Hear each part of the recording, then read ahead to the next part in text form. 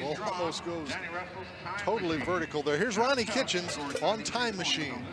Okay, made it in there on one, had an 86 ride, and a real good ride. Riding with the mask, protect his face. He had that injury. Right there to the left. Come on, Ronnie. He's got a seat. Don't get too far, not a problem. Now watch him spur him a little bit. Whoa, got, oh! He rode him. He rode him. Um, just, just good. Ken Henry says, yep, he made it. No problem. Ronnie Kitchens. 86 on his second bull. Let's see what he gets on the third one here, Donnie. Judges say 85 points, 171. Covers two. It ain't over till it's over when you're riding bulls.